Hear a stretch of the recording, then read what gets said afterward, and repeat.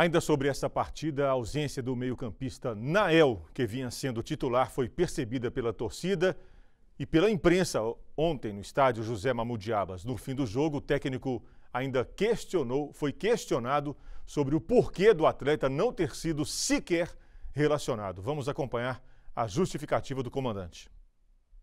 Sentiu falta do Nael com a atuação do Igor? Eu não senti. Mas ele vinha atuando como camisa 10, né, professor? E fazendo é boas partidas. É beirada. Nael é beirada. Camisa 10 é o Marcelinho. Jogou. E jogou muito bem. O time jogou muito bem. Jogador que vestia camisa tem que respeitar o processo. Jogador que tiver no Democrata, o clube que eu tiver, tem que, tem que cumprir todas as normas que é determinada. Não tem estrela. Democrata não tem um atleta que é estrela. Estrela é o grupo sempre é o grupo. Então, se um atleta está destoando, se um atleta não está concentrado, se um atleta quebra regras, ele, ele tem situações. Vai ter uma reunião, eu, é, Edivaldo, o Nelson e o Nael, para decidir o que, que vai acontecer em relação a ele, é, é, aquela situação.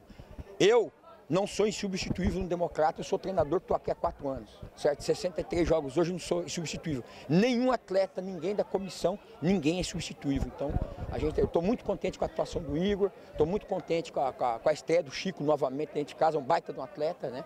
E a gente fica triste, por quê? Porque todo mundo tem que cumprir. Todo mundo tem que cumprir, todo mundo está cumprindo. Se um não cumpre, eu não, eu não posso pegar por causa de um, jogar um grupo inteiro, um trabalho inteiro por causa de um atleta.